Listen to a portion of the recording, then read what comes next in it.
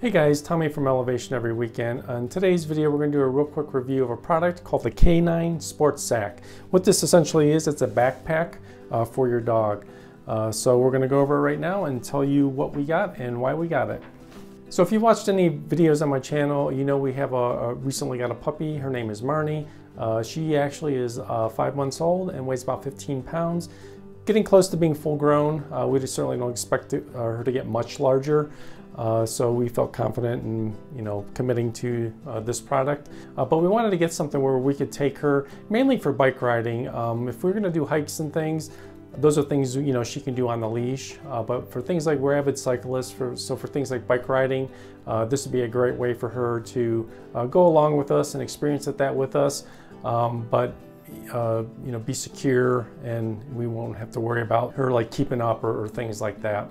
So the product we selected specifically is called the Air. Uh, they actually have uh, several different uh, models in their product line. Uh, this is the one we selected for a couple different reasons.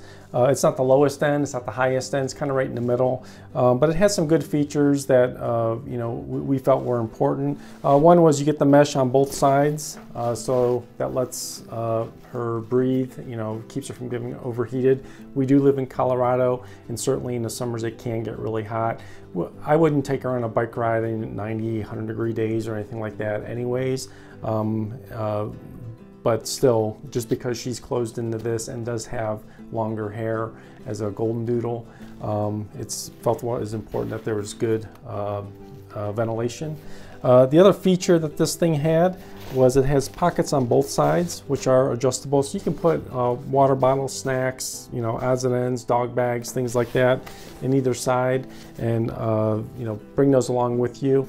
Uh, because, you know, if I'm wearing this, I'm not going to be able to wear uh, a backpack for my bike like I normally would when mountain biking. Uh, so it's important that it have a little bit of extra storage. One of the other features uh, it has is it has a sternum strap and it does have a whistle on it, which uh, doesn't really appeal to me, but the sternum strap certainly does.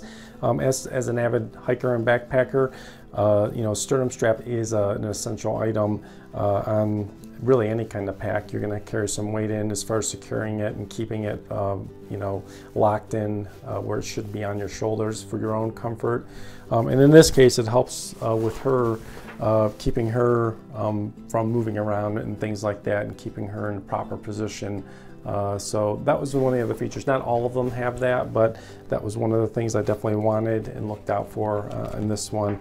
And, and, it is ventilated. There's good ventilation on the actual uh, shoulder straps. Uh, thus far, I haven't had used it a lot yet, certainly not in any kind of heat, uh, but so far so good on that aspect.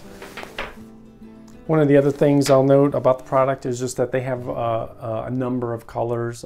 They have over 10 colors. They had a bunch on Amazon and they may have even more on their website.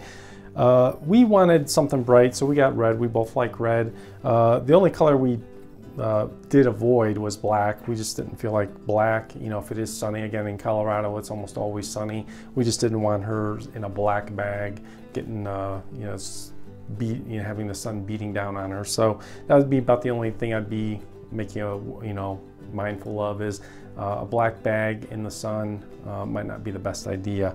Uh, but basically uh, the way it works is, well, a couple things as far as putting her in.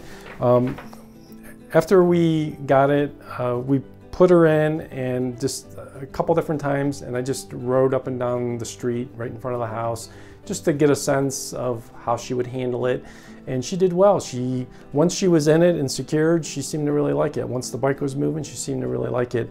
It was very difficult getting her in it uh, the first few times. Uh, she was really fighting it. She doesn't like being confined, so trying to put her in, you know, basically stuff her in a bag and zip her up uh, was was a challenge. However, after doing it a couple times and after her seeing uh, what it is and what it's for, she seems uh, to be a little uh, more agreeable to it.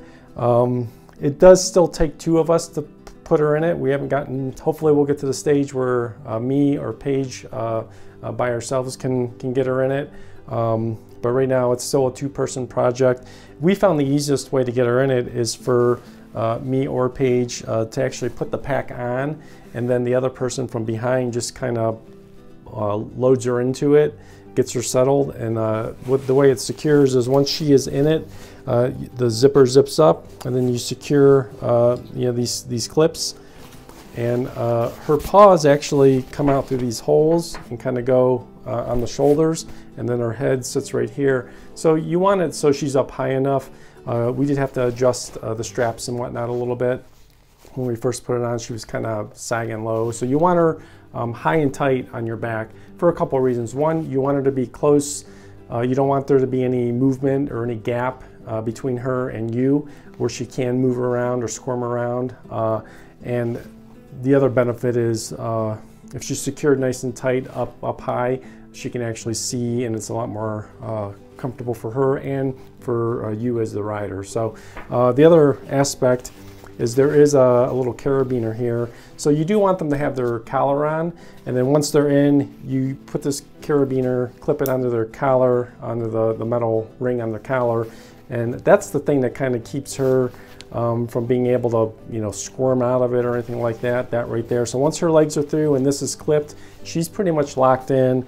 Uh, and then, you know, you just, again, zip it up, uh, secure the clips, and uh, she's been very secure. She hasn't tried squirming out of it, and I don't think she could if she even wanted to. So uh, it seems like a really good system so far. So again, uh, we did get the Air, and it's in ruby red is the color. Uh, it's rated for 30 pounds. They have five different sizes, extra small, small, medium, which is what this is, large, and what they call XX large. Um, so there's a wide range of dogs uh, that, that can fit uh, in their products. Um, uh, I'll post some links uh, below and uh, some other information so you can just get a sense. But um, what you do want to do is you do need to measure your dog um, from their collar to their, their tail. And you also want to take a measurement of the girth. So you want to measure uh, right behind their legs, the circumference of their chest basically. and you want to use those measurements as kind of a guide on what size you need. Um, so you know, it's important to do that first. Uh, and you know she was easily in the medium range and has still again still has room to grow if need be uh, but she fits it well now. And um, you know like I said she can if she gets a little bit bigger that'll be fine too. So uh, but you do need to do that to that's how the sizing works is, taking those measurements and then being mindful of the weight of your dog. So we did uh, recently do uh, the first real ride with her. We, we grabbed the fat bikes and uh, we went over to the local reservoir and trail system and uh, she actually got right in it and uh, you know we, we did uh, a couple miles. again, just just giving, you know, easing her into it. We didn't try to do any epic ride right off the bat or anything like that. We just wanted to change the scenery from the neighborhood, uh, get her out uh, onto the trails, new area, uh, let her get a sense for what riding in the dirt uh, would be like. We did take the fat bikes and uh, a couple reasons, uh, you know, they're just fun to ride, but uh, they are a little more comfortable with the big tires and whatnot. So uh, I probably will never do any kind of, you know, epic single track mountain biking with her on this because I just uh, don't feel that that's appropriate. I'm not sure that she would enjoy it, number one. And number two, it's, you know, safety's a factor too. You know, you certainly, you don't want to crash anyways, but you certainly don't want to crash with your dog on your back. It could be really bad. So uh, the, these will only be scenic type rides on, you know, paths or gravel grinding, dirt roads, things like that. Things that are, you know, fun and scenic and, and not too crazy uh, for her and, and, you know, definitely maintain, maintains the safety. Uh, so that's the kind of riding uh, we did in the first ride with her and we'll continue to do with her. But we're looking forward to getting her out again soon and just, uh, you know, doing more miles and longer rides and just kind of building up uh, on that type of thing and giving her an opportunity to adjust to it. Uh, but so far she really likes it. Uh, she, you know, was completely satisfied the entire time. No barking, no whining. Um, you know, she seemed very, very content.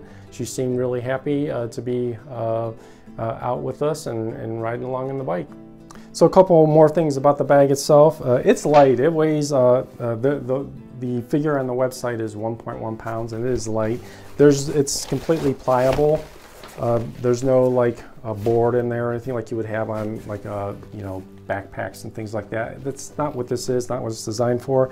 I can tell you when she's in it and cinched in, um, it feels like a solid pack on your back. They do sell a couple things on their website that you might want to check out. Uh, they sell, uh, you can make customized name tags, so they have like a hook and loop uh, pad here. Uh, you can put anything you want on it, but they actually sell uh, uh, custom name tags to size. So we, we took advantage of that and got one. Um, the other thing they sell, uh, they call it a block. Um, and it's uh, for some dogs that you know may not fit just quite right yet, um, you can get a booster block and it'll kind of boost them up and get them where they need to be. So um, just a couple options that they have. I, th I, think the name tag was about $15. Uh, definitely check out their website uh, if you're interested in the products. Uh, I'll post some links down below. I'll post a link to their website and the Amazon link, which is what we went through. Uh, we paid uh, just under $70 for this one. Uh, it wasn't on sale or anything. So uh, it seemed like a reasonable price. Uh, you know, someone who has bought good backpacks over the years and spent a lot more on those. Um, I feel like the construction and the quality is, is reasonable in that price range for this. Um, we'll certainly see as time goes on how it holds up and we'll certainly probably do an update uh, at some point during the future. Uh, but so far so good. Real happy with the product. Uh, she seems to like it and uh, we'll be uh, posting more uh, when we get a chance. So if you found this video helpful, please like and subscribe. if you have any questions or comments, I'll post them down below. I'll certainly try to answer those for you. Um, if you're interested in uh, bikes or fat biking, I've got other videos on the channel uh, focused on that. And if you're interested in uh, the dog, Marnie, golden doodles, anything like that, getting a new puppy, uh, we've got some videos on that too. So please check those out. Again, I'll post some links below.